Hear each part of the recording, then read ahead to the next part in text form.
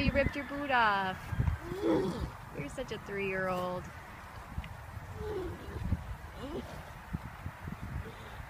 Life's rough.